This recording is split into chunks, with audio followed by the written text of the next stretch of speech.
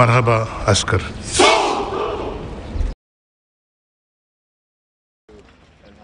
You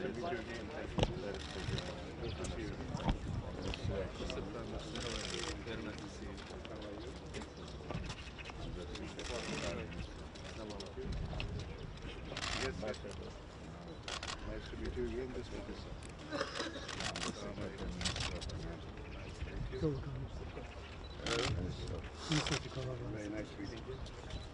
Foreign policy advisor. It's an honor.